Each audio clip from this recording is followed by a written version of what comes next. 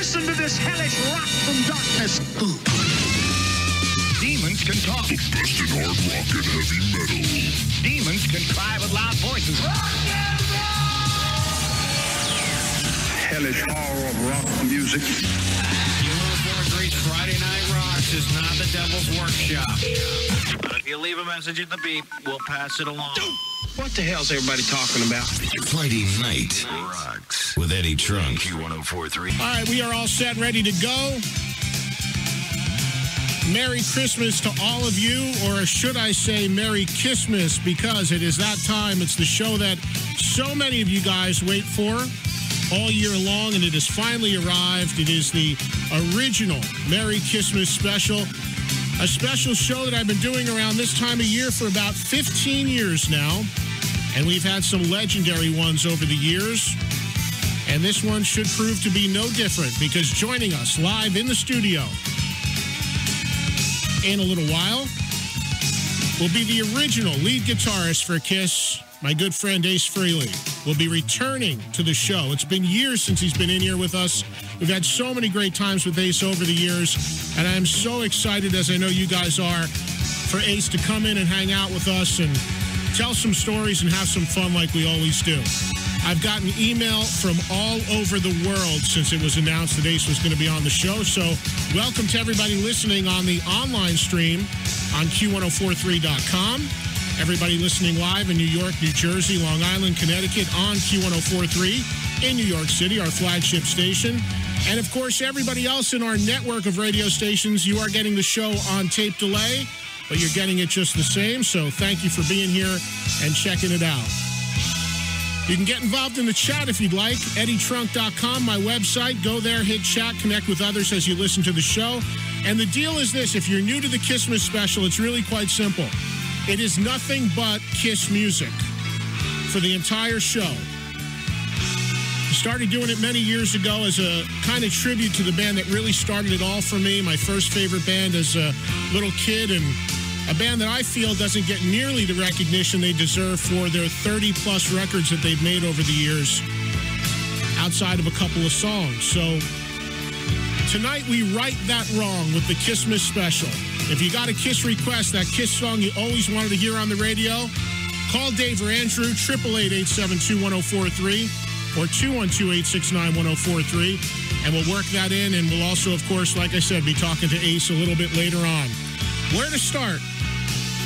30 plus records to pick from, more than 30 years of music, but we will start all the way back in February of 1974. Album number one, song number one, Struck. Q1043's Friday Night Rocks with Eddie Trunk.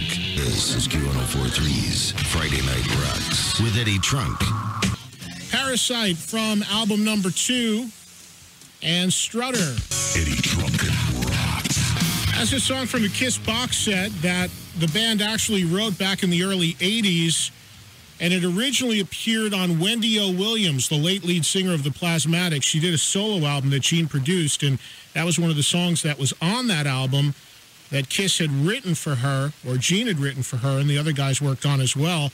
And there was an original version that Kiss did, and that's it. It surfaced on the box set, and I think it's one of the I really think Kiss should have done it because it sounds like it would have been a big hit for them, and it's kind of cool how everybody takes a turn singing lead on it. Very cool song is requested by Brian in Hawthorne, New Jersey. It's My Life from the box set. Hard Times off Dynasty. Dynasty, one of those albums that always has the rap for being a disco album because it's the album that has I Was Made for Loving You on it. But in reality, the album has a lot of good hard rocking songs on it. It just kind of always gets pigeonholed because I Was Made for Loving You was such a, a huge hit back in 79. Anything from My Baby off Dress to Kill, Parasite from Hotter Than Hell, and we started with Strutter from the very first album. It is the original Merry Kissmas special, a special edition of our show we do once a year, right around the holiday season. Eddie Trunk bringing it to you. Thank you so much for tuning in. As I said at the top of the show, I have been inundated with emails this week about this show, and I apologize if I haven't been able to get back to all of you, but it has been that incredible. And it really all came about because a couple weeks ago I announced that Ace Frehley would be returning to the studio. He's been on the show so many times and he is coming back. It's been years but he's coming back and he's going to be in here in a matter of minutes. So that's going to be a lot of fun, and that's the reason for all the excitement. So we're looking forward to talking to Ace again. Of course, I've been talking to him all along, but I know you guys want to and you want to hear from him. And finally, after years and years, like three years, I can stop getting emails from people, hopefully, that say, So, how's Ace? So, what's Ace been up to? Because he's going to be here to tell you himself, probably in about five or 10 minutes from now. Maybe we'll take some phone calls too. It's up to Ace. We'll see how that goes. And we'll keep your Kiss requests coming as well. Work some music in. And of course, lots of conversation with Ace as well. 888 1043 is the toll free line. 212 869 1043 also works for you. Again, this show is live on Q1043 from New York City. And if you're listening on the other stations in our network, please do not call those phone numbers. You are listening to the show on tape delay. And we also are going out on the live stream on Q1043.com. So welcome everyone listening worldwide. I've heard from all of you guys already. And also, of course, KNAC.com, which has the replays of our show throughout the week. We got to take a break. We'll come back, maybe a song or two before we get Ace in here. He is arriving shortly. So get ready. The return of the Space Ace exclusively on the original Merry Kissmas special. This is Q1043's Friday Night Rocks. You're dumb as a mule and twice as ugly. Eddie Trunk. This is Q1043's Friday Night Rocks. It's the original Merry Kissmas special. Eddie Trunk here for it. It's always fun to do this show. I'll tell you, as I said at the top, I started out. My first favorite band ever as a little kid was Kiss. My first ever concert, 1977, December 16th to be exact. The third of three nights at Madison Square Garden. Kiss and special guest Piper. Don't remember much about it. I was about 12 years old, but it was just one of those great moments that you kind of remember the aura about it, that's for sure. You, you kind of get the vibe about it. It was just a, an amazing, amazing experience, and it kind of what set me off on this whole world of music that I've been in for, for better than 20 years. So every time this year around the holidays, about 15 years ago, I said I got to pay tribute to the band that really started it all for me. And over the years, I've been fortunate enough to become uh, friends with a lot of the guys, none closer, though, than Ace. And he has arrived. He's in the other room having some tea. He's going to come in here and join us in just a few minutes and have a blast. So get ready for the return of Ace Frehley joining us live in the studio in a matter of minutes. Until then, we'll go back to the Kiss requests, which are just coming in left and right. This one is for Paul in Staten Island, and it comes from Ace's 1978 solo album, Speeding Back to My Baby. From the 1978 solo album, when Kiss did four altogether, that one is, without question, the biggest selling one. and had the big hit on it, and that's a fact. I'm not just saying it because the guy is standing right in front of me who recorded it and sang on it and played the guitar on it. Had a huge hit, New York Groove, on that album, which, which you still hear do you know that after Yankee games and after Met games and after Giant games, every time they win, do you know that that's the first song that comes out on the stadium is your version of New York Groove? Did you know that? That's what I heard. I never.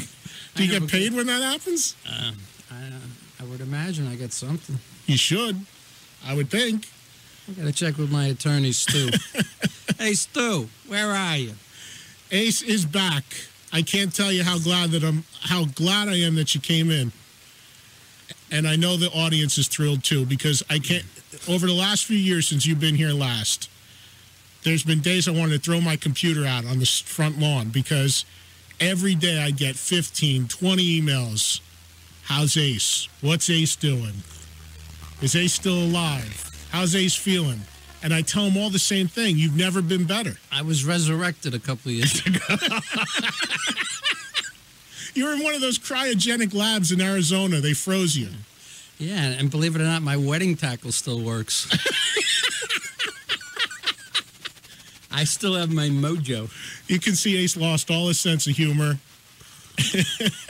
oh man! I was I interviewed Alex Lifeson and Geddy Lee not too long ago, and Alex does an impression of you. I don't know if you know that. Boy, we had some funny times in, in the hotel room. He used to put a bag over his head and paint this crazy face on it and smoke pot through through, through the eye. And uh, God. he said that to me when I looked at him and he said to me, I got a I got a Polaroid of him with this bag on his head. It's, it's the funniest. Jesus. because Rush opened more shows for Kiss than any other group. And I was telling him that you and I were friends, and he looked at me with this big smile. He's like, Oh, man, tell him I said hello. He goes, We had the best times on the road. He goes, It's 25 years ago, but I remember it was like it was yesterday. He goes, We had the best times. Yeah, we did. So, anyway, how are you, man? Tell everybody how you doing. I'm back. You're back. Yeah, for like the fiftieth time. Nah, no, I'm glad to be here. I'm glad to host the uh, co-host the show with you. And, uh, I'm sure everybody out there is wondering what I'm doing, and you know, working on my CD. It's going to be out in the spring, available on acefrehley.com and maybe an, uh, on a label which I'm negotiating with right now. So. And you told me that you have some music that you brought in with you, which is a big surprise that I didn't even know about. You've got something No, I you want just, to play? I just brought a, a rough mix of uh, 2000 Man. I did acoustically. I was kidding around one day, uh, joking around. You know, my engineer and uh, my buddy uh, Chris Cassone, and uh, we threw it down. It actually came out kind of cute. So we'll play it after midnight. All right. You know, we want we don't want to give away everything right now. No, no, absolutely not. so, anything else you want to share with your your audience that's been, you know, just dying for years to just see what you've been up to and everything? You just, I know you've been spending time with the family. You've been just, you know, working in your house and working on the studio. You know, I've been like I renovated two homes. You know, my my studio is constantly a work in progress. You know, I'm getting it. You know, Pro Tools set up with there, and you know, Final Cut Pro, so I can do video, and uh, you know, it's all coming together. But it's a slow process. And, and and the and the one thing too that you know I I've I've known you Ace for 20 years now, and the one thing is that that really I'm so proud of you about, and I've told people this is that you have been so healthy and so on the straight and narrow for for years now, and I'm so proud of you for it, man. And I think that of all the things you've done in your life and all the accomplishments, I mean, I think that I give you the most credit for that, man. Yeah, it's been like two and a half years now. it's uh, feels great. it's just it's just amazing i mean because you you've just you know you've completely turned your life around and you you know talking to you privately all these years that you haven't been on the show i've told the audience so many times i'm like you know you don't know ace has never been better Well, you know, if I wouldn't have turned my life around, I'd be I'd be dirt napping right now. so it was like do or die. So I figured, you know, I chose life. right well we're glad that you did and i'm glad that you're here let's play some music right now and then we'll uh uh, Ace said maybe a couple calls. We'll see how it goes a little bit later on. Yeah, let's let's slip it past midnight. You got a song that we're going to hear that I didn't even know about, which is exciting. It's just a rough mix. That's all right. Don't expect anything anything wonderful. All right, we got a bunch of requests for Shock Me. What do you want to do, the studio version or the live version? What do you think? Uh, I don't know. Why don't you surprise me? I, Well, the live version has the guitar solo in it, the longer guitar solo, so we should probably do that, I would think. well, well go for it. All right, let's do that. You know, and after you play it, you know, maybe I can talk about it All right, hold on. Because it's probably a shock to me. I haven't listened to it in such a long time.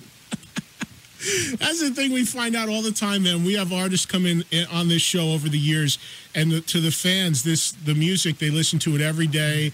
They live it for 20, 25 years. But for a lot of the musicians, they record it and they forget about it. They don't go and put on the old records. You know, I was coming, I was I was driving down here on the West Side Highway, and you know, I heard Parasite and, and uh, a couple of other songs. I'm going, God, I haven't I haven't heard those in years. It's just like, wow. And it's over 30 years old now, which is amazing when you think about it. That was recorded 30 years ago. I dropped my cane. Look out. No, man, you look great, and you, you're obviously feeling great, and and we're so glad that you're here. So let's play some live version of "Shock Me" from Kiss Alive 2. Ace is here. Uh, we'll have some stories with him, maybe some phone calls, and some music which he said not to get excited about, but we'll get excited about anyway. Coming up, so stick around. And the live version of "Shock Me" from Kiss Alive 2 from 1977, L.A. Forum with the guitar solo from the man who's sitting across from me, co-hosting the show, the one and only Ace Frehley, who was playing me some pretty interesting stuff off the air. Yeah. A song that's Well- called. What's the name of the song again? Ace, is your hair still long? I don't know. I don't even know if that's the title. Leave it to Ace to bring in some some crazy stuff here. Well, I got it from Keith Roth. You know, the, the Keith's a great guy. I know, You Keith, well, yeah. And it's it's kind of a It's funny. We should play it. It's only two minutes long. it's a catchy little thing. we don't even know who who does it though. We don't know. Yeah. Well, we, you know, well, maybe Keith will call in and, and give us the information before the end of the night. I called and left him a message because if we play the song, we should at least tell the people who the band is that that did it. It's like some crazy crazy name. Any recollections to the live version of "Shock Me"? I know we were listening to the other thing mostly off the air, but oh yeah, yeah. You know what I love about the the live version of that is the, is your guitar sound on that during that solo. It's the, uh, the whole guitar sound that you have on Kiss Alive 2 is different than any guitar sound you ever had. It's a real I'm not a guitar player, so I don't know. You would know better than I did, but did you it was a different effect or something you had on your guitar, right? Uh, Or something you did in the mix? not really. Sometimes uh, I would just crank my amp amp up, you know, really high, and It's great. It sounds great. You know. Plus, Larry DiMarzio used to, you know, give me custom pickups, which would make the sound hotter. And uh, I used to use. I think I used to use an Electro-Harmonix uh, power booster in conjunction with a Marshall, which gave me, you know, a little beefier sound than maybe what I used in the studio. Yeah, it's it's such a thick, like fat, kind of like overdrive sound on that whole record. And and, you, and your guitar never sounded like that in the studio, which uh, it's just a different sound. I think it's really cool. So I don't know. You have any songs that you want to play from your Kiss history at all? Is there anything that's special to you that you want to play? I mean, the fans are calling in with a million questions and a million songs that they want to hear, but you're the guest of honor, so Well, you know, you control the show. You make the calls. I'd rather the fans uh, be satisfied and let them pick the songs. You know, I'll pick a few a little later on. I haven't even, you know, the last time I looked at a Kiss album, you know, was a while ago. Right. But uh, I mean, I mean, Deuce is a favorite song of mine. That was the one that you auditioned to with the band, or didn't you tell me you auditioned? Yeah, I that? walked into an audition yeah, and uh, basically, they, you know, they they said we're going to play a song for you, and uh, they played it twice, and I kind of got the hang of uh, the feel of it, and then you know, I played along with it. And, Pulled out all, all the riffs I, I knew at the time, you know, out of my little bag of tricks. And uh, And it be good. That sh- that song has been the I got the gig, Poppy. you did. that song has been the set opener for countless tours too. And of course, the first song on Kiss Alive. Uh, Not the logical question here is that since you've been out of Kiss, have you had any contact with any of the guys? Have you talked to any of them? Yeah, I, I spoke with Paul a couple of months ago, and uh, I'm pretty sure he got married recently. Yeah, he did actually. And, uh, He had hip replacement too, actually. yeah, well, And I think I'm he- sure he's doing better now. I heard he actually has to have another operation. I don't know if it's true, but they got to do it again supposedly. So I'm not sure how true that is, but Well, if that's the case, prayers are with him. definitely. So you just just uh, how you doing type conversations, just kind of that sort of stuff. Yeah, Gene, you talk to or no? yeah. I, I, I I've been calling Gene's old number, but I've been having a problem getting through to him. You know, maybe he'll call in tonight. He's busy with reality shows and, and being in the Miller Lite commercials and all that. Did you see the Miller Lite commercial that he's in? And I, I heard it. Somebody told me about it. I hadn't seen it. Yeah, You know. yeah. It's, it's running constantly. It's pretty funny. My bodyguard Mac told me about it. He, he, he saw it. a You saw it, Mac? ago. Did you think it was funny? yeah, it's pretty I, funny. I wanted to call Gene and congratulate him on that uh, that show he did. You know, School of Rock. right. I thought that was hilarious. Yeah, I didn't see it too much. I only saw a couple episodes. I yeah, I saw it. about three episodes, but you know what I saw, I thought was funny. I thought the kids were real good too. Yeah, definitely.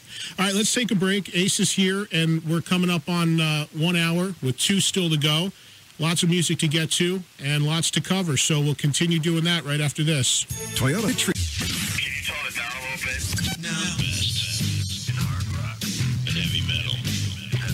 Yeah, that's right. Q1043. It's Eddie Trunk. This is a special edition show, the original Merry Kissmas special. Ace Frehley is live in the studio here joining us for it, and there are some police officers and folks here that have come up to say hello to Ace that he's spending a few minutes with. So while he's doing that, we'll play something from Kiss Alive that Ace wanted to hear, his favorite Kiss tune, the one he auditioned to, the live version of Deuce. That's the studio version of Firehouse. One of my favorite solos from Ace in that song. so short and simple, but so perfect for the song. Remember where you were when you came up with that? Uh, yeah, I was uh, dreaming of maidens in France. That's the first album, man. You were probably driving a cab somewhere. Exactly. I'm just throwing a little bull in there. We're working at the liquor store, driving the cab, whatever you were doing. Yeah, I used to work in the liquor store. It was great because I used to pocket, you know, pints. I'd leave the place and, like, you know, all my pockets were filled with bottles. Did you get paid too? Of course. I mean, it was like a dream job for me at the time. That's what started you off on the path, right? oh, man.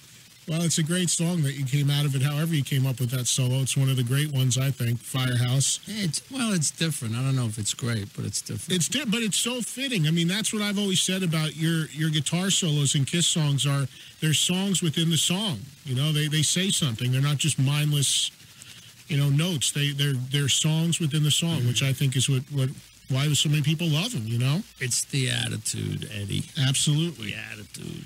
and the live version of Deuce. And Ace has a checklist in front of him. He's getting calls on his cell phone. You have like a, a list of people that you need to say hello Wow, to. my, wow, my doctor just called me.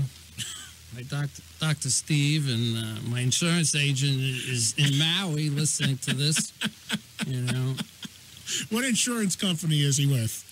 Uh, Levine Insurance. Oh, I thought it was one of the big ones or something. Maybe that you would get You know, like I a. got to say hi to the family. You know, my wife Jeanette, Monique, and, uh, and my father-in-law's uh, recuperating from a hip replacement. Uh, uh, but he's doing good. Uh, Carol, we got to thank. I have to thank Carol for helping put you this know, I together. gotta say Carol hi Kay. to mom, mom T, Anita, Roseanne, Joey, Marilyn, you know, Vinny, Nicole. You know, the, I can go on forever. But you know, what I have to say is, I really have to wish happy holidays to the guys in Kiss. You know, Paul, Gene, Peter, Tommy, Eric, and of course Doc. You know, if I don't talk to you guys, have a have a happy holiday, and uh, we'll speak soon. You're in a you're in a good place with the whole Kiss thing these days, right? I mean, because it didn't end too well, the whole thing. But since time has gone by, they've gone on. You've Yeah, gone it on. It didn't end that bad. I mean, the last tour I did with those guys, I mean, they were thrilled with with my uh, performance. Mhm. You know, but I, I I ended up getting sick with Lyme's disease. You know, because I got deer running all over my property, and I got bit by you know a half a dozen ticks, and uh, you know I just couldn't go on. I couldn't you know I couldn't continue.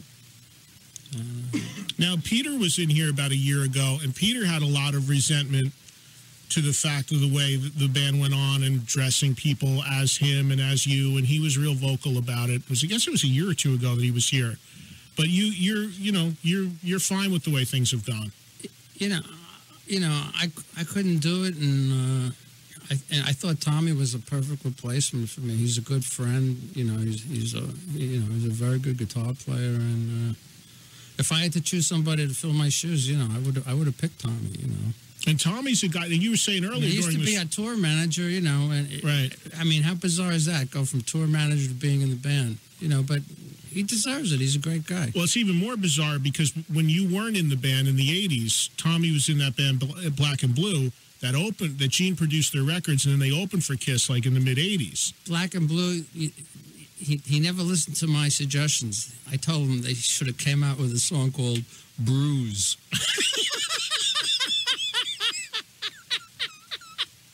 And that's it. Instead of instead of playing the role of Ace in Kiss, he would now be playing arenas with Black and Blue if he would have If listened would to that. if they wrote a hit single called Bruise. That's it.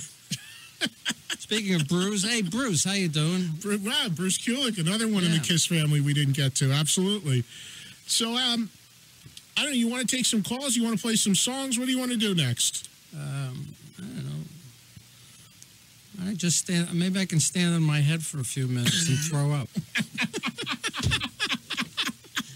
Now, the, the old days would have actually done that. I think that would have been something that would have been happening. Actually, you know, the insane video, which was you know one of the videos I did as a solo artist, my uh, my producer, uh, or should I say director, uh, Wasn't that Mick Rock? Mick Rock. I was there for that shoot. It was me- at SIR. He told me every day he, he used to, you know, stand on his head and lean against the wall and, and throw up, and that would make his day. You know, I never got it. I never really got that. I remember that. I remember that video. Hey. Mick, if you're listening, how you doing? Miss you. yeah, I spoke to my old road manager yesterday, um, um, Michael McConnell. You know, Carol Kay, my publicist. You know, wish them all happy holidays, and you know, we're going to start. You know, putting things together. You know, for a tour in the spring. Ah, I know. a lot of people will be excited to hear that. Yeah, I got to do an all-star band. I got to. Yeah. You got anybody in mind? Uh, I don't want to drop any names at this point, but it's going to be it's going to be special. Making phone calls though. You think you know you're, you're Kicking ass and taking names, Poppy. Well, th- this leads to the logical question that I wouldn't be doing my job if I didn't ask, and it's probably what everybody in the world wants to know.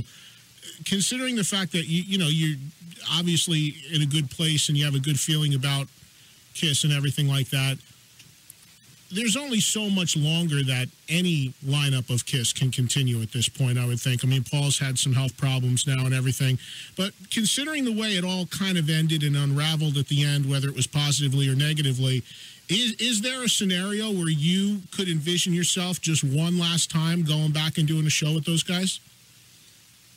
Would you like to do it?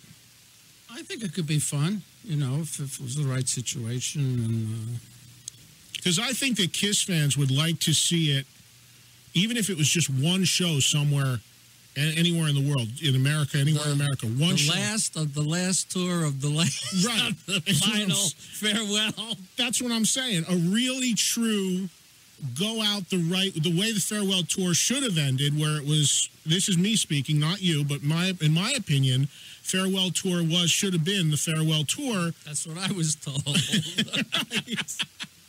And that's what, I remember when that first went down, people were always ask, would come up to me and say, "Well, how come Ace isn't doing whatever tour?" And I was like, "Well, he really believed that the farewell tour was the farewell tour."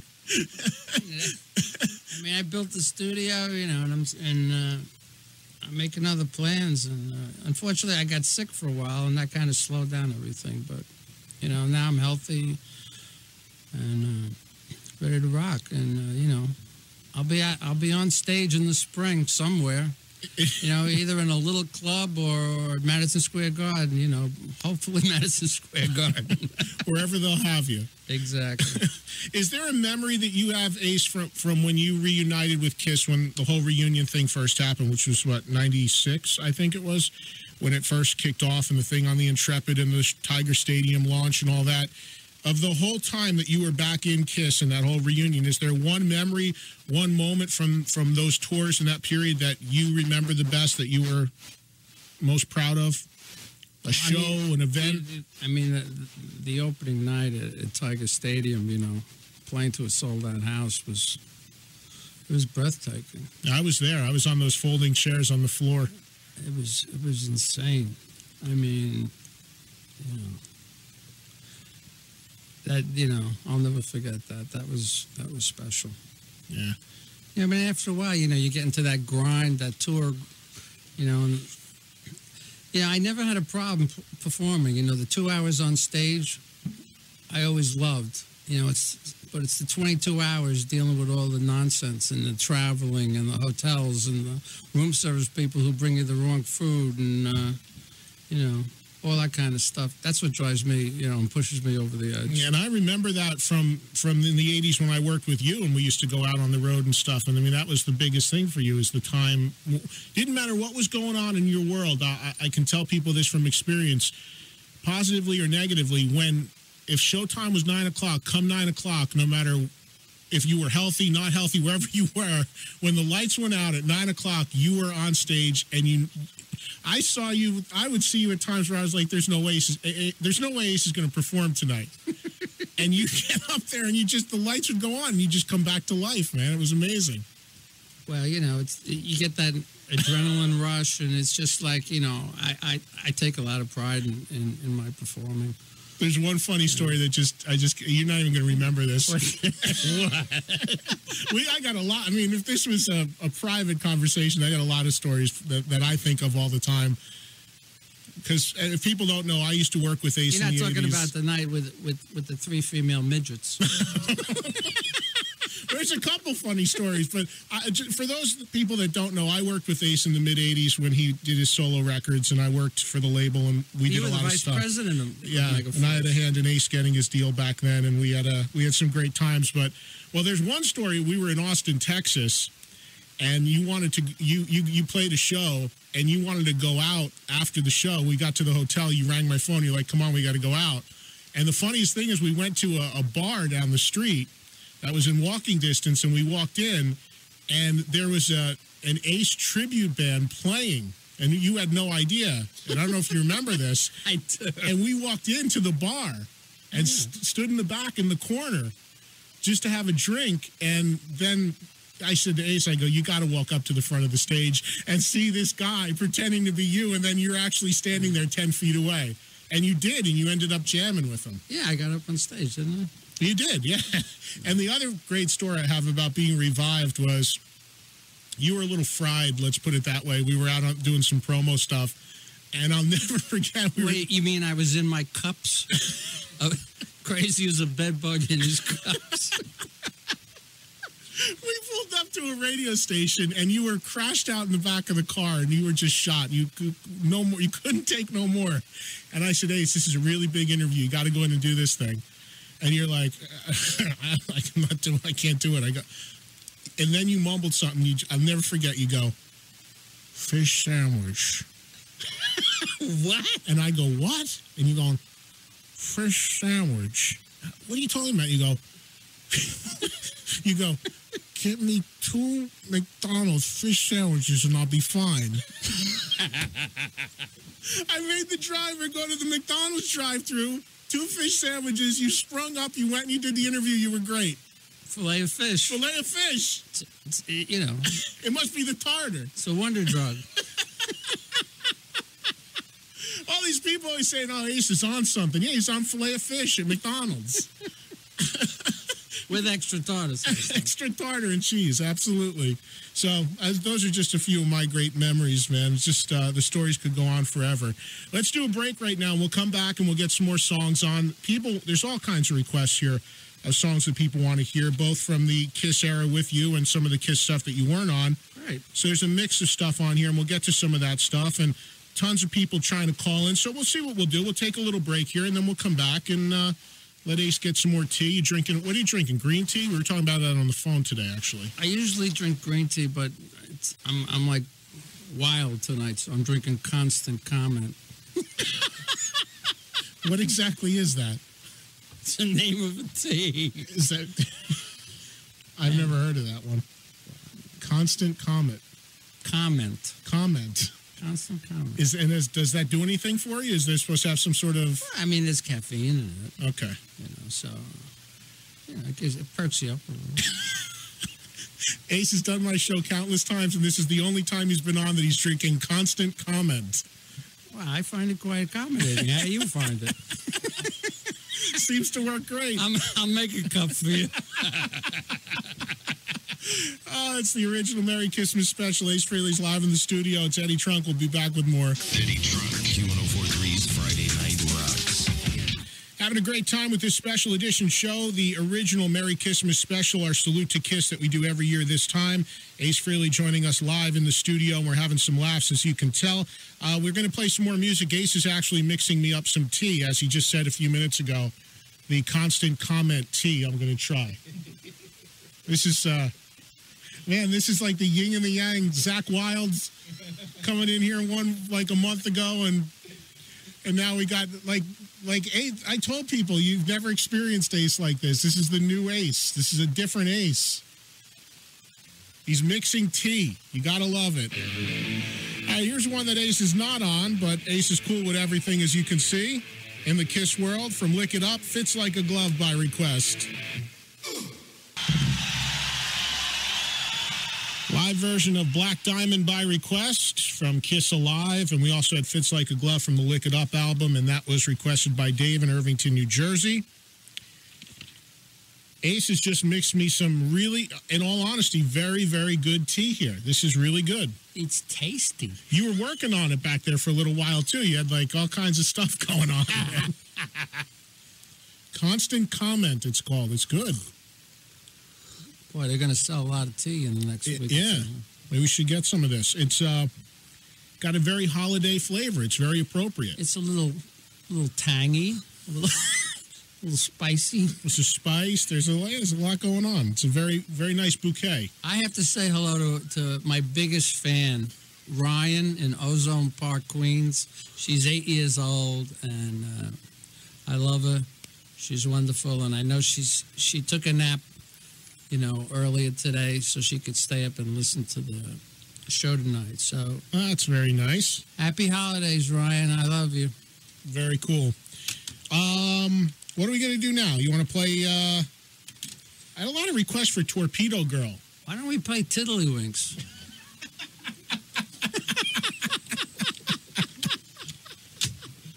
At this point, I think anything's possible. I think we could do that. It's a very gala, you know, game. you actually did Torpedo Girl on one of your solo tours, if I'm not mistaken, didn't you? Torpedo Girl is a riot. It is. It's a riot. I, I don't know where that song came from, and uh, I don't know where it went, but it was a fun song to do. Well, you know what I always found? It's got a crazy drum beat, and it's you know, the, and the bass and the guitar and the drums. There's all this count, counterpoint stuff going on. Well, that's Anton Fig, right? Yeah, the Figmeister. By the way, happy holidays, Fig and family. Fig and family. You know, That sounds all. you don't have to send out any cards. You can just come on this show and you can just do them all on the air. Card schmards.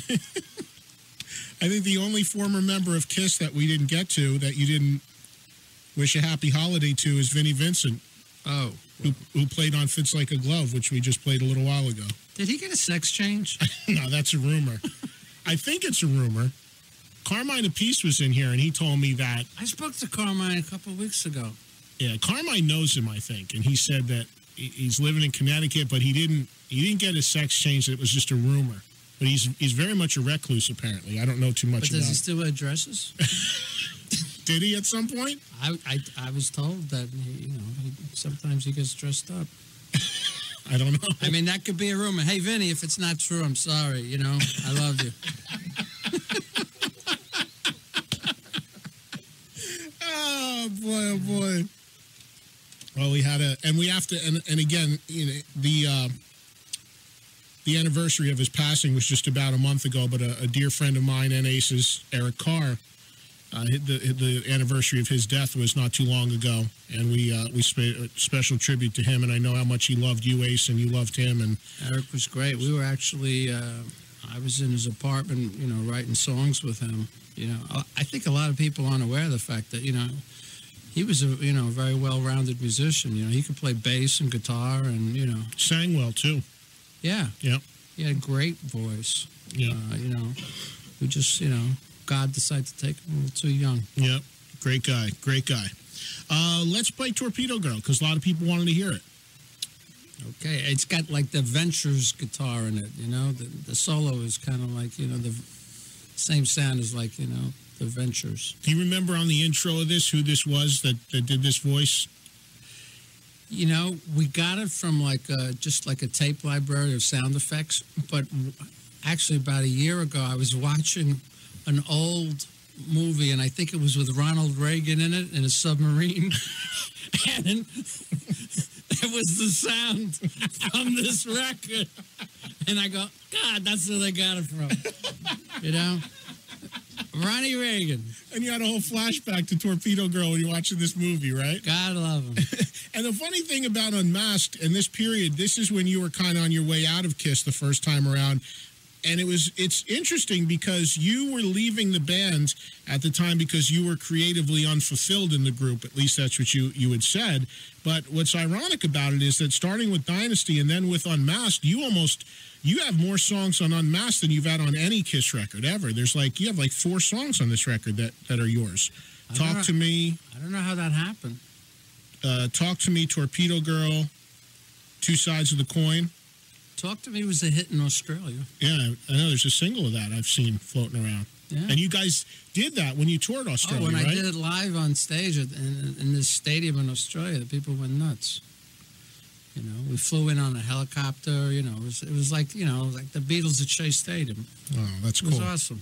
All right, here's Torpedo Girl from the Unmasked album from 1980 as Ace continues to hang out with us. And uh, more of your requests and phone calls. 888 872 1043 is the toll free line, 212 869 1043. And also, don't forget eddietrunk.com. You can go in the chat room on there as well and talk to others as you listen to the show. By request, a number of requests for this. I got him online and also on the phone lines. Here it is Ronald Reagan.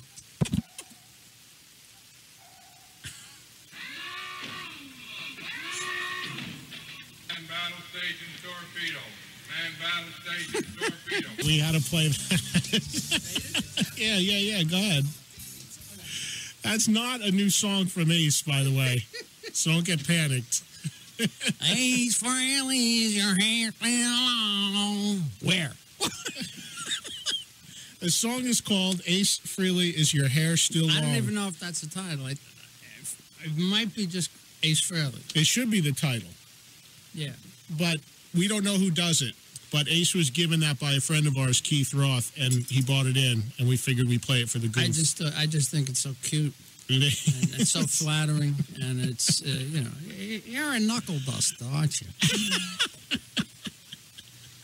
It's got yeah, it's nice that you got a song. I mean, you've got. I think there's other songs with your your name in them too at some point or another. But that one is actually all about you, which is.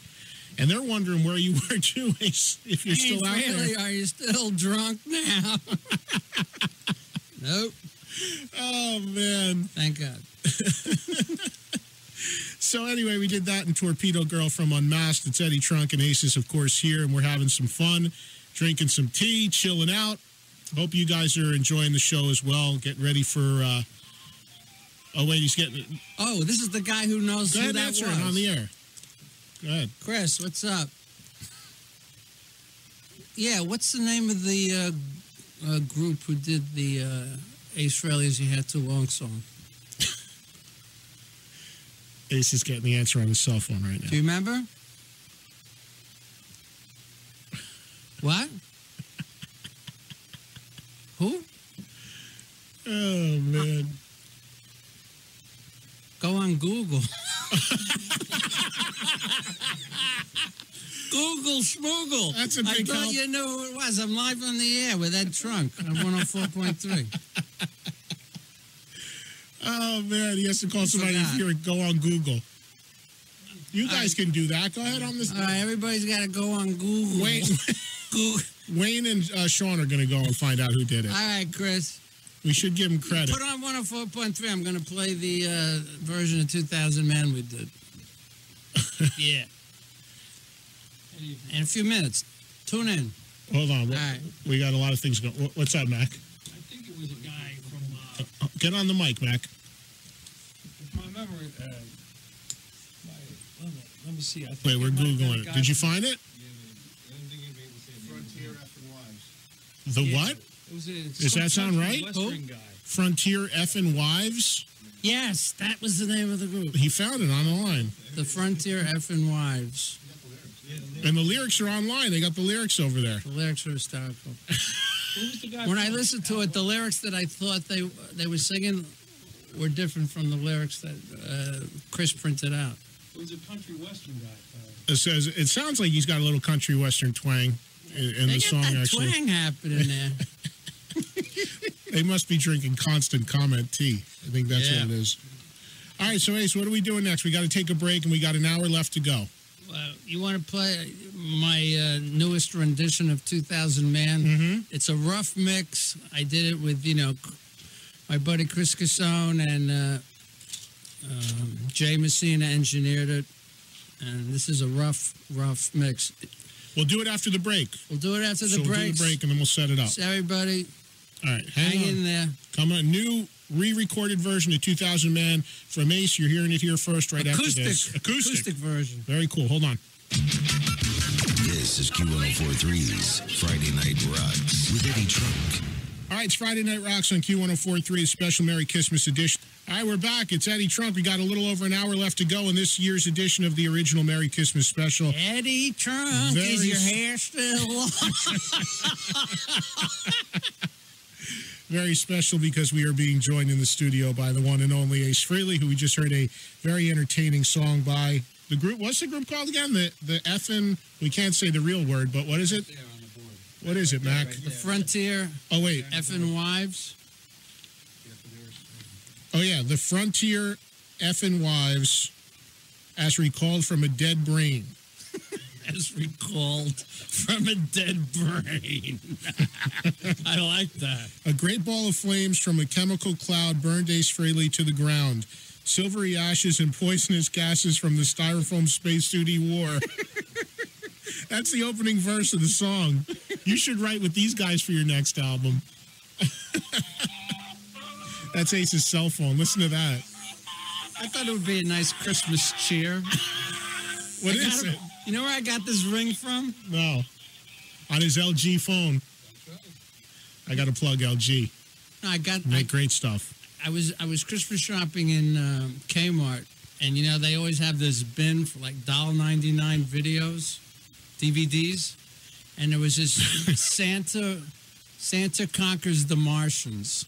I said I gotta get this. That was the name of the movie? Yeah, I, I laughed from beginning to end. It was amazing. but there was a part in the song where like all the elves got together and Santa was leaving and they played that song. I said, I, and I stole it and put it on my phone as a ring. How can you how did you get it off the tape onto your phone for the ring? This has a microphone. I hit oh, record. Oh, This oh. records whatever I record. I can make a ring. So I got to learn about I just things. turned it up, Poppy. Ace is always ahead of the curve on the technology, man. When we people before people were into Macs, Ace had like Macintosh computer graphic stuff going. I mean, Graphics tablets. Way I, I ahead of the graphics curve. tablet in 1980 something. I remember you telling me, I, you know, this guy's delivering this computer. This, he's got all this like high end stuff. I can't. I can't even figure out email and internet. And Ace has got like a mad scientist. He's with the computers. He's always had that great stuff going. I don't know, man. I just got a brand new PC. You're gonna have to show me how to use it because it's got a lot of stuff on it, but I have no idea what Yeah, I'm doing. I, am not that swift on a PC or Windows. I'm really a Mac guy. Well, I had an iMac for the longest time, but I was it just wore out. What are you insane? What? Why didn't you stick with Apple? I just you know I was getting a lot of attachments and stuff that I couldn't open. You know, like work oriented stuff, like Oh, scripts because and things. Windows stuff. Yeah, and it, yeah, but couldn't open it. see, let me tell you something about Macs. A Mac on a Mac, you can get uh, you can get a program that that emulates Windows. Mm. That's how amazing Macintosh computers are. You can actually run Windows on a Mac, but on a PC, a Windows machine, you can't run. I already spent System the grand 10. days. Too late now. Uh, Too late. I still got the iMac. Maybe I can bring it to you. You can clean it up and tune it up for me if you can. Yeah, if I can't, you know, uh, one of my techs can. Yeah. All right. Let's play this song now. Tell me the backstory. This is obviously you recorded the Stones 2000 Man the first time on the Dynasty album, Way back when. '79, and then God, you know the dates, man. Oh, well, you know. You're like an encyclopedia. I got to tell you a funny story about that too. When I going back to when I used to work with Ace in the mid '80s, he used to do these radio interviews, and he, he didn't have the best recollection about what he played on and what he didn't play on. so he would turn to me and say, Am I on that record? and I'd be across the room giving him the high sign or the low sign. There may even have been a couple print interviews that I actually did for you back then. Yeah. you were the man. But anyway, so you re- you decided to do a new version of 2000 No, I was just hanging out with you know with, with my buddy Chris, and uh, I had my engineer there uh, who's working with me on, on my new album, uh, Jay Messina, and we just you know decided to do it as a goof, and it came out kind of cool. So uh, Now, Jay's a guy that's been, we should tell people, I mean, he's worked on Kiss stuff, but he's worked on, I think, Aerosmith stuff. And he's a really well known, noted engineer, producer guy, right? yeah, I mean right now I think right now he's finishing up uh, the Dolls, something for the New York Dolls.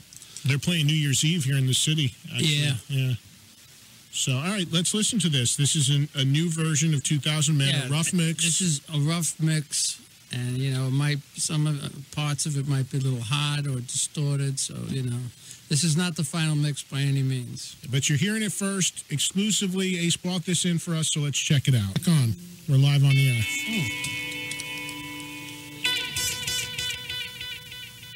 Oh. That's cool. I think that's a cool version of that. It's got more of a Stones vibe than the original, I think. and you got to leave the laugh that you did in the front of that on the recording when you actually finalize it.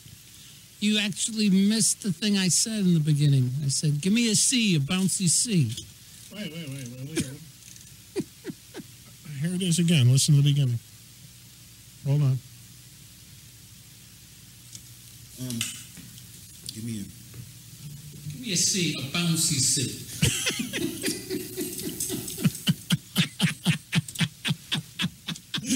Uh, you got to leave that in there. That's great. Yeah. That is great. Let me ask you this: you, you, we talked earlier. You've been.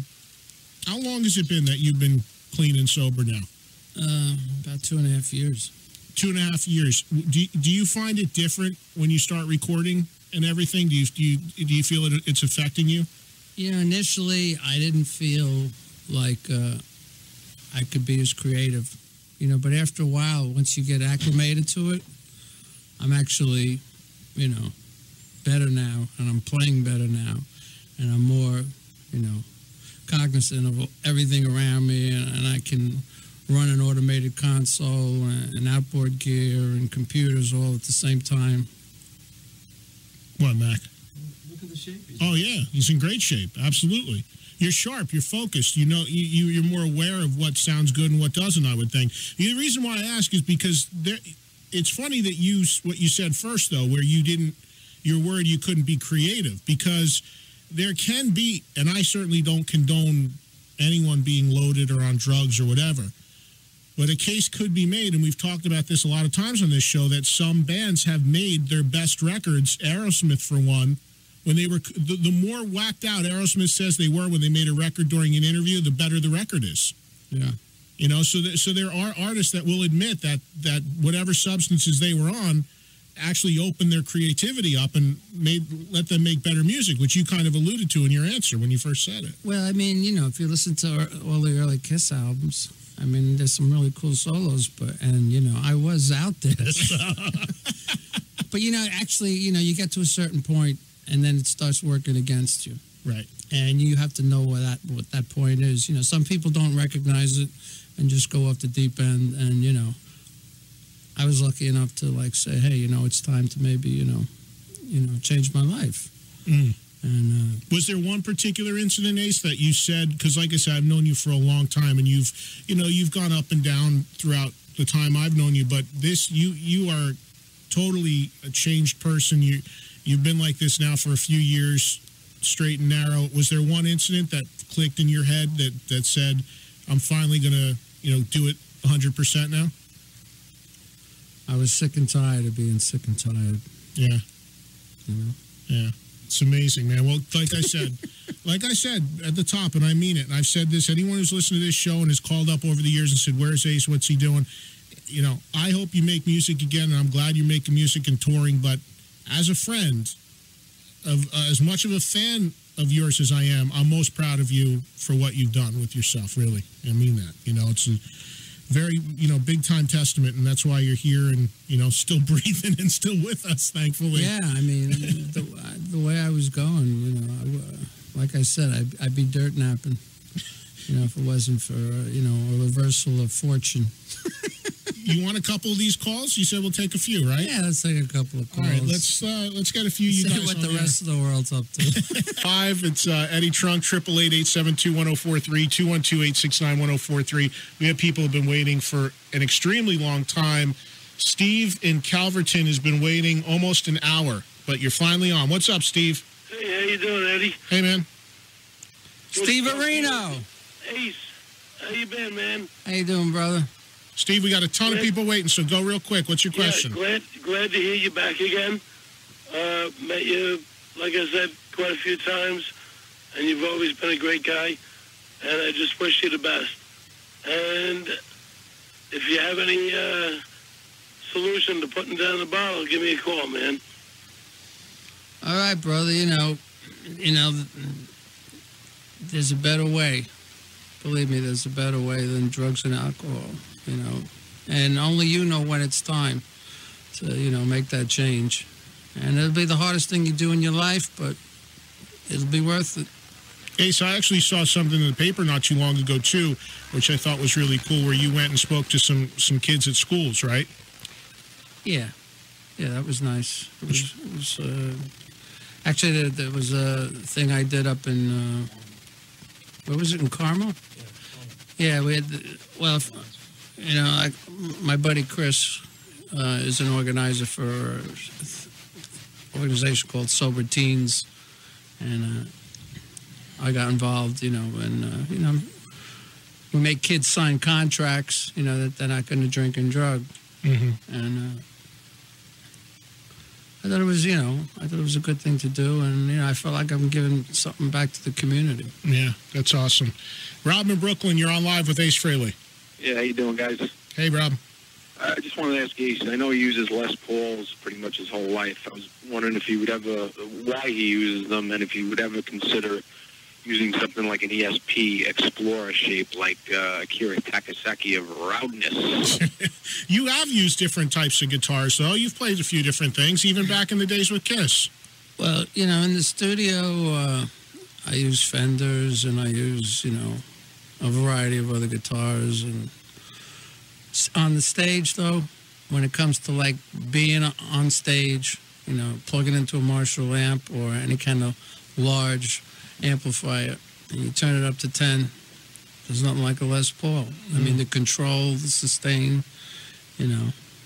Do you know you you must know Les? I would think, right? Oh, yeah. I was I helped him We saw him at the Hard Rock. birthday, yeah. At the Hard Rock, I know we were all there. I feel so terrible. He's he's invited me like three times to jam with him at you know that jazz club Iridium, yeah. on on Monday nights, and I'm definitely going to take him up on it real soon. I had the I just been opportunity. so busy. Yeah, I had the opportunity to interview Les not too long ago for VH1 Classic, and um, it was an amazing thing to do. I mean, the band's like 90 or maybe a little more, and myself, Ace, Les Paul, a bunch of people are all at the uh, opening of the new Hard Rock here in New York, and Les was sitting right on the railing watching Slash play his Les Paul with Velvet Revolver the whole night, and he's got an amazing sense of humor. And talk about a guy who's still really sharp and on his game at that age. And I'll tell you one funny story he said to me. you, you talk about the club. Les Paul, for those listening outside of New York, plays every Monday night at a jazz club in Times Square. So I'm talking to Les, and I said to him, he, he's, he's saying to me on camera during the interview, he said, "Man, he goes, you should see all the, every night a different person pops up when I'm playing at this club. You never know who's going to walk in: an actor, a musician, a comedian, A leprechaun. he goes to me he goes to me he goes yeah i said well what was one of the strangest ones he goes well about a month ago dr ruth came to see me play and i said really and he goes yeah he goes how was that he goes it was good she came up and sang a song with me and i said oh really he goes yeah he goes and i i shook her hand he goes and she has, and remember, this is a 90 year old man saying this to me. He goes, and she has the tiniest hands I've ever seen in my life. And I said, really? And he goes, and he looks at me, he goes, and I like that. and I go, Les, why? And he goes, because it makes my pecker look bigger. That's Les. And I was like, this man is amazing. I mean, he invented the Les Paul, and he's, you know, still playing at 90 in Times Square and still nice. trying to make his unit bigger. Well, you know, she, she might have been there for other reasons too. You, know? you never know. Uh, man, let's talk to, uh, got a couple more calls here. People have been uh, waiting for a while. Tommy in Staten Island. Hey, Tommy, real quick, you're on with Ace. Hey, Eddie, Ace, happy uh, Merry Christmas to both of you. Happy New Year. Same to you. Love, love talking to you guys. Ace, I just wanted to ask you, what do you think about the books that have been written about you by like that guy Gordon Gebert and that chick Wendy Moore? They really don't paint a really good picture of you. What's your opinion on them, if, if you've read them? Uh, number one, I haven't read them, and number two, uh, you know, I don't think they're very accurate. You know, it's it's it's a one-sided uh, story, and you know, there's always two sides to every story. So, uh, you know, but I don't even want to go there. Pat and Waldwick, you're up next. What's going on, Pat? Hello. Hey, you're live with Ace. Ace Frehley. Oh my God, this is, I've been playing guitar for 25 years. This is the man that made me want to play the guitar. Pat Meister.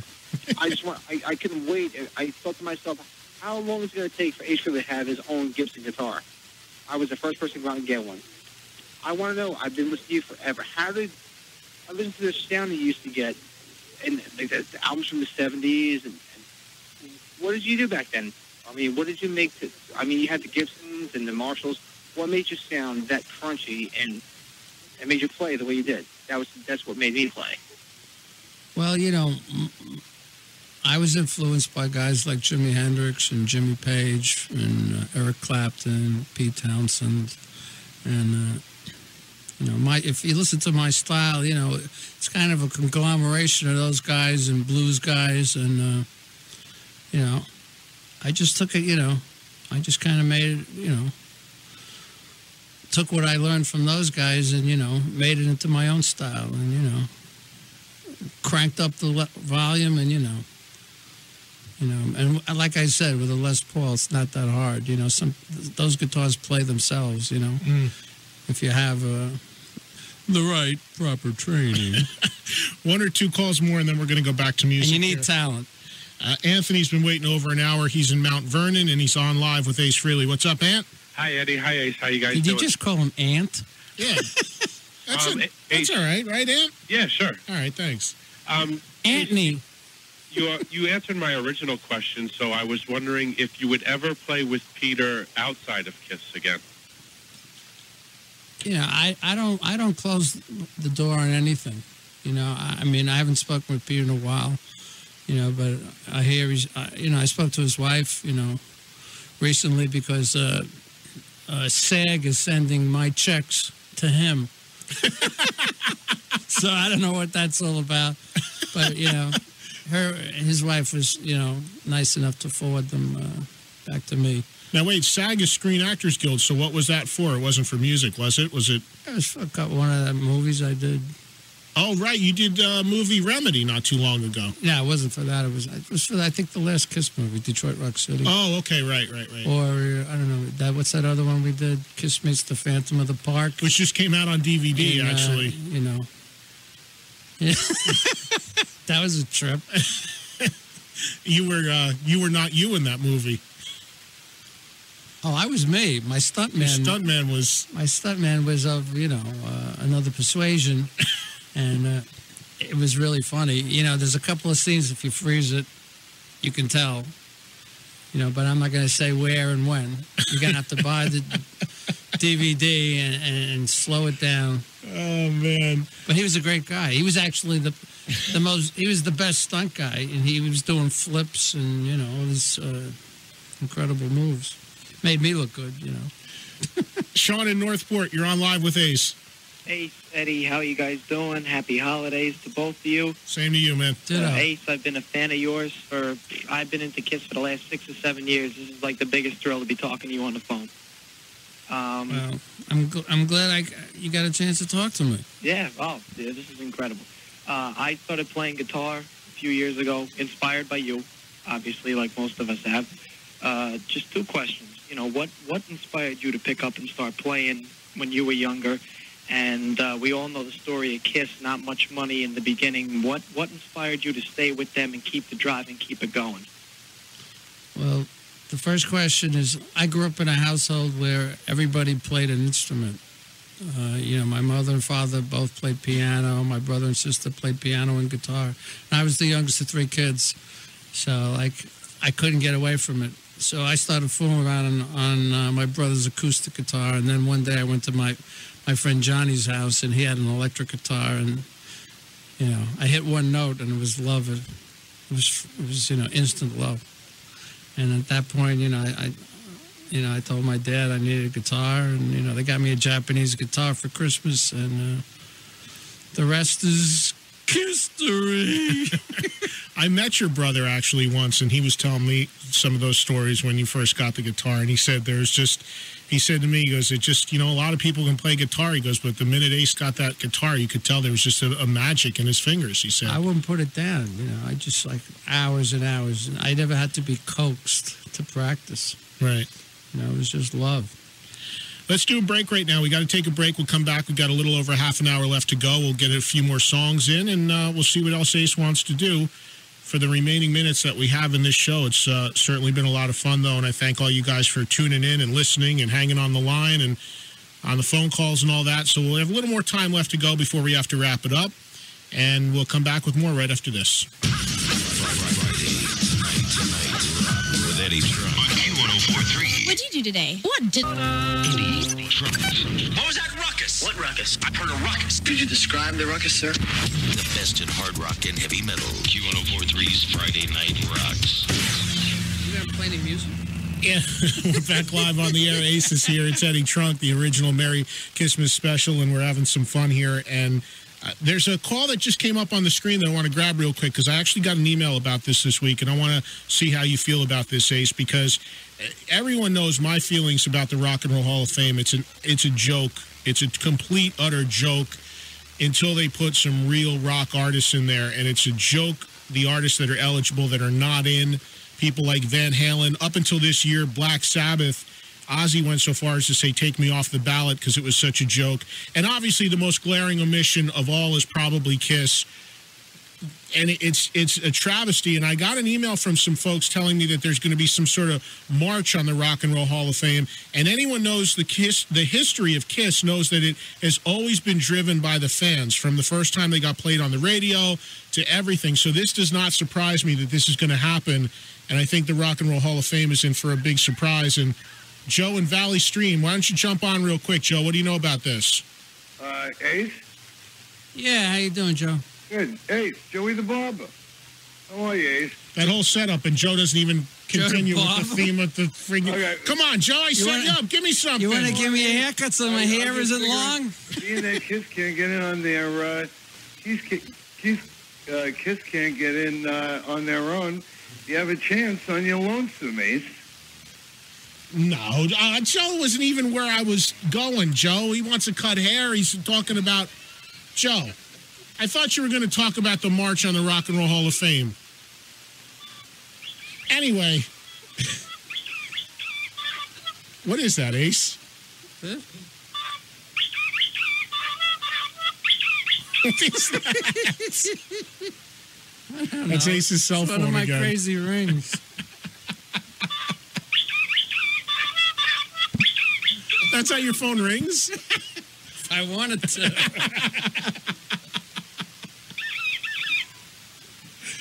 I got an Armand Flint ring somewhere.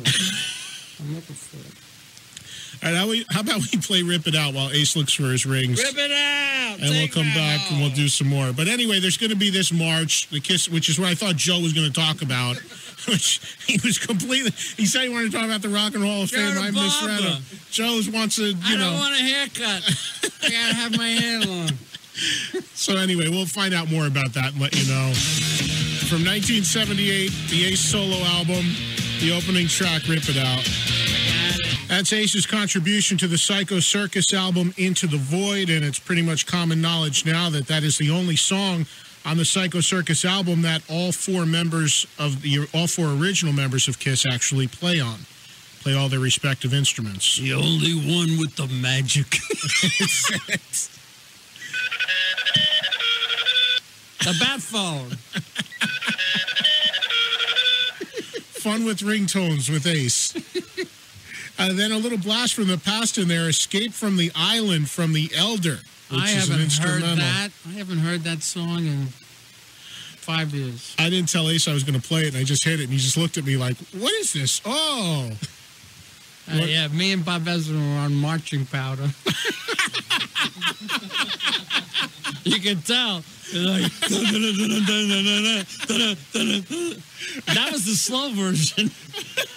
was other versions we did that was like double time. well, Bob Ezrin struggles with uh, drugs are no secret whatsoever. As a matter of fact, he was the he was the guy that got you guys into it around the time of Destroyer, wasn't he? Uh, you know, I don't want to point any fingers. You know, from, as from what I know, Bob's sober today, and you know, God bless him. No, absolutely. I mean, he's a brilliant producer, but The Elder was certainly uh, quite the departure for Kiss at the time that it was done. And you were actually you had one foot out of the band at that point already, right? You you did your stuff at your studio, mailed it in, or something like that. Was the story I had heard? Well, we were originally recording it in my studio in Wilton, Connecticut, and then uh, then they shifted uh, gears halfway through and finished it up at uh, in Canada. So, uh, And you told me a while ago that you actually have a completely other version of that record, right? With all your solos in it. You, one of the things you were pissed about was that a lot of your stuff was cut out of the record, right? yeah, you know, but I have ADD, Yeah. Ace's delusional disorder. so you know, I thought there should be three million solos in all these songs, and you know, Bob was probably right that it was maybe too much guitar work. Is there a version with more guitar or no? Oh, there's several songs I have with like a lot more guitar work. You know, I got aggravated because they cut it out, and you know, in retrospect, they were probably right. Because you and Bob were busy. You guys were busy getting coked out of your mind while you were doing it, right? Well, I don't want to, you know. Oh, and I stole. Well, we did. Yeah, we did. I stole your love too. A great song from the Love Gun album. Ace is here. We got a few more minutes left to go, and what has been a really, really fun show. We want to grab a couple more quick phone calls here too. We'll let a few more people get on the air real quickly, and then we're going to do a commercial break, and we'll come back with a final song and wrap up the show. We're gonna play what? New York Groove. New York. You requested. And, you had a yeah, request from New York Groove. From yeah, and you know my bodyguard Chris uh, requested it, so I'm, I'm doing it for Chris. Happy holidays. Larry in Hasbrouck, Hasbrouck Heights, New Jersey. Larry, you're live on the air. We have limited time, so go quick. Yeah, how you doing, man? Uh, Ace, I'm a big fan of Ace, and I was wondering. Uh, You're talking to him. Go ahead, ask him. oh, I, I didn't know. How you doing, Ace? Hi, Um, Poppy. What What's your favorite? What What solo do you think you rip the most on? You know, like I'm a guitar player, and everybody, you know, has a, a solo that they're kind of proud of, or they think it really rips. What's your favorite solo? And I'm also from the Bronx. I'm from Fordham. Well, I was raised there. Fordham, uh, Fordham Road University. I was wondering. I heard you're from the Bronx. And what area you're from? Cool. Be- Bedford Park Boulevard. What What street? Bedford 200 Street. Oh, okay. Cool. Not far. I used to hang out. At, I used to hang out in Poe Park. And your favorite all-time solo you recorded, Ace? Well, uh, one of them is is Strange Ways because it's just such a unique solo. Um, so I'll leave it at that. If we have time, we will try to play that as well. Uh, we want to get some of the female audience on the air here as well. Some of these folks have been holding for a while. Let's go to Nashville, Tennessee, and talk to Stacy. Hi, Stacy. Hey, You're finally live on the air. yay. Hey, Ace, it's your old strutter dancer from Who, way down south. My old who? Strutter dancer, Richie's friend. Oh, hi. How Hey. are you? Sorry. Long time no see. I know. But anyways, I just wanted to know when you and Richie and the guys are going back on the road because we miss you out here, you know. Well, I don't think I'm going to be reforming the old lineup, but uh, I'm planning to put a new lineup together in the spring of undisclosed people at this point in time. Uh, but we'll be down there. And you have a Merry Christmas and a Happy New Year. And say hi to all, all those Southern belles. Christy in Park Ridge. Christy, go ahead. Hey, Ace in the Hole. This is Christy in the Hole. Park Ridge, New Jersey. If anybody from my high school, I just turned 36 yesterday, and if anybody from my high school has listened to this show, they're like, that's the Kiss girl from high school. You wanted female callers. Who wanted a Mac? Let me see what you My got. bodyguard says, hey, why don't you talk to some girls? well, and now she got disconnected on top of all that. She just I didn't even wiped have the chance to make a rebuttal. What did you mean? I'm, I'm I, Christy in the hall. What does I don't mean? know what that means. Christy, we're sorry. Call back. She's been waiting for like an hour and she has cell phone dump or something happened. Oh, man. Let's go to PA. One more call. Scott in Harrisburg. Scott, How do you expect me to follow that? I don't know. Go ahead. Listen, Ace, uh, what a thrill this is for me, man. Um, I just wanted to ask if you ever considered doing a project sort of like what Carlos Santana has done over the last couple of albums, where you surround yourself with some of the best singers and songwriters um, and just, you know, showcase uh, your guitar work. Well, you know, I do a lot more than just play guitar. You know, I like to sing. I like to perform. I like to tell jokes. you know, Likes to drink you know, one of my secret, one of my, one of my secret dreams is to be a stand-up comic. You know, and I'm going to do that before I die. You know, even if I only do it one night in Caroline's or something. and he makes a great tea now, too, Ace does. Oh yeah. But no, that's not a bad idea. But you're right. You also sing, and Carlos doesn't sing either. So Yeah. people and people like well, Carlos voice. is a brilliant musician and a great guitar player, you know, but I really need to, what I need to do is just, you know, get a bunch of guys, you know, that are in my caliber and, you know, throw something together and make it special. Two more quick ones because these guys have been waiting a while. Dan in Rockaway, New York. Dan, you're on live. Dan, you're on live with Ace. You there? Ace, Ace, Go ahead, Dan. Turn your radio down. Ask your question. Hey, what's up? Hey, Dan. How you doing, man? Go ahead, Dan. We're, we're out of time. Go. All right, Ace, I just want to know, man, from going from one great guitarist from Kiss, what do you think of uh, Led Zeppelin? And uh, as far as drummers go, what do you think who's the best all time? Led Zeppelin's a great group. I mean, uh, I actually saw their first New York appearance. They were opening up for Iron Butterfly at the Fillmore East, and, you know, I was completely blown away. And, you know, like I said earlier, Jimmy Page was a, a big influence on me and my guitar playing. Uh, final call here. Dave in Green Lawn. You're on, Dave. Finish it How you up. doing, guys? Merry Christmas. Same to you. Listen, Ace, great guitar player, one of the greatest. Thank you. But you're also a great singer. What I finally got about you out to sing? What's that? What finally? What finally Oh yeah, convinced you to what sing? finally made you decide to sing "Shock Me"? You wrote so many great songs in the early Kiss days. I just wanted to know why you didn't sing on the early songs, and then finally. I was afraid. I was afraid to get up on stage and sing for some reason. I don't know why. I guess I was maybe intimidated by Paul and Gene and Peter because they all had such great voices and uh, But you do, you did such a great job, and I think it Oh, showed in thank the next few albums because uh, arguably on Dynasty and on Mask, um, arguably you were the best on those albums. I don't know about that, but you know, thank you very much. You have a happy, uh, happy holiday and a happy New Year, and uh, thanks for the call. All right, Dave. Thanks, and thanks everybody for your calls. And we're sorry we didn't have more time to get to some more of them. Uh, we'll do our final break, and we'll come back and wrap up this year's edition of the original Merry Kissmas special with Ace. A few more thoughts and uh, closing song or two, whatever we have time for, and we'll do that right after this. This is Q1043's Friday Night Rock. Ready to pummel you with your favorite hard rock. Stop pummeling me! Friday Night oh, Rock. It's really painful! On New York's only classic rock station, Q1043.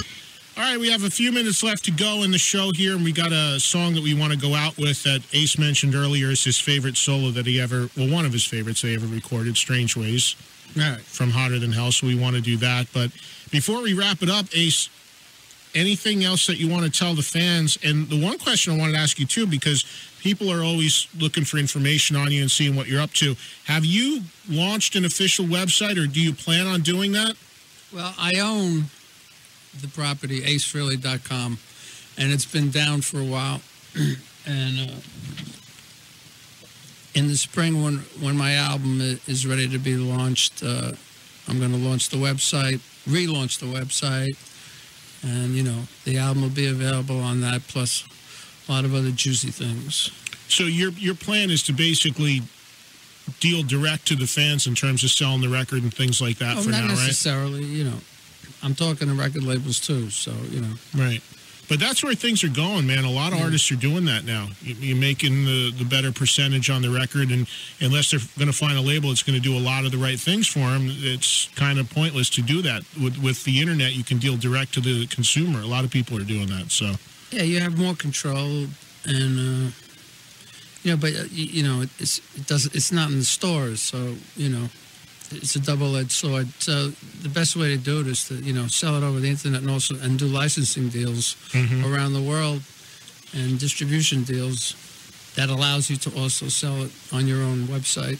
And then you know, then you have the best of both worlds, and you make the most cash. and and uh, demo wise, you got you have a lot of songs ready, or are you still working on that area too? I have a lot of songs, but you know, I'm actually thinking of doing a, a three three CD set. Wow. You know, I want to do because I have I have tons of old songs that are unreleased. Right. You know, I have you know, 15 new songs which will be edited down to 10 or 11 or 12, and maybe you know, I was thinking maybe doing a you know covers. Mm. You know, just do like a variety. You know, give, give everybody the full gamut of uh, you know, the Ace Man. Well, and the other thing too that was kind of neat was we played earlier that rough mix of the new version of 2000 Man that's semi-acoustic, and that's a cover and that's acoustic, and you never really did. I'm a little burnt out on the whole acoustic thing, but I think I think it would be kind of no. I mean, every band like acoustic, acoustic. It's like oh yeah, I get it, but hearing you do something like that would actually be pretty cool. I would think. And maybe doing a couple songs like that, maybe a you know a little acoustic segment if you do three CDs, you know something along those yeah, lines. I mean, I, I, you know, I'm working on a new, a new instrumental in the Fractured Mirror series. Mm-hmm. You know, there's a bunch of stuff I got. You know, I don't want to give away too much, but it's gonna be, it's gonna be a special package when it comes out. And and the one and the last thing that that's I think pretty clear here throughout this whole night is the fact that you are in a, a very good place as far as where you how you feel about Kiss and your former bandmates. It's very positive. You've been very positive about that whole thing, and I I, you I, I mean We've been, you know, we, we we've been through too much, you know, and uh, you know, all the negative stuff you just gotta let go. And do you think that that's a byproduct of the fact that you you have been clean and sober for a couple years now? That that's another part of you that's opened up that you've seen that. Well, when you know when you when you get clean and sober, you know you kind of you learn how to let go of resentments and you know realize what's important. Mhm. And uh, you know, I had a big part in a lot of the negative stuff. Know? to say the least. You So you kind of you kind of almost now have an appreciation for what those guys went through having you in the band. I don't know how the saying? hell they put up with me. Oh my God! Somewhere in Beverly Hills right now, Gene's phone line is ringing, and he's saying, "I knew it. I told you for thirty years. for thirty years, I tried to tell you fans. I tried to tell the fans about this, and now Ace has seen the light." Which is obviously just going to lead to ridiculous speculation that there will be another Kiss reunion, just just by the fact that you're so together, and you know they they need a kick in the pants, and you know. Why not do it one last time the right way and end it for real the right way? Only time will tell. Yeah, I'm keeping my fingers crossed. And if I'm a betting man and there's money on the table, I say Gene's buying. We'll see. All right. We're going to go out with Strange Ways. I just want to say Hell. thank you for all the listeners. It was I had so much fun tonight. Thank you, Ed. Thank you, Q one hundred four point three, and uh, all the stations in our network. Happy holidays. And uh, And Ace, in all honesty, I want to thank you because, as I did say at the top of the show, we've known each other 20 years, and you, you've always been a great friend to me, whether you were like you are now or loaded or whatever. or in a different version. But no, we've you know you've always been a great friend. You've always stepped up. We've had some great times together, and everything from playing my birthday party a few years ago to the New York Steel benefit to whatever it is.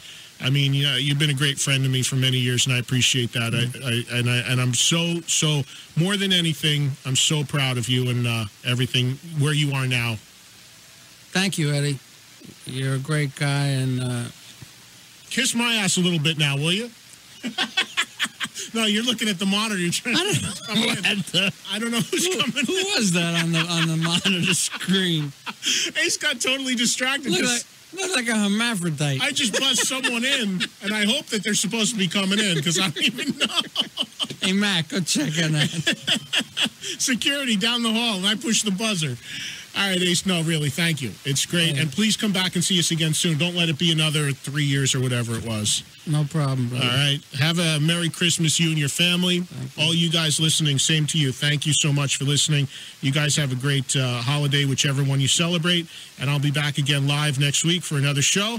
EddieTrunk.com, my site. Look for me on VH1 Classic. And we end the show, we end this installment of the original Merry Kissmas special with the one that Ace asked to hear, featuring his great solo from hotter than hell, it's strange ways.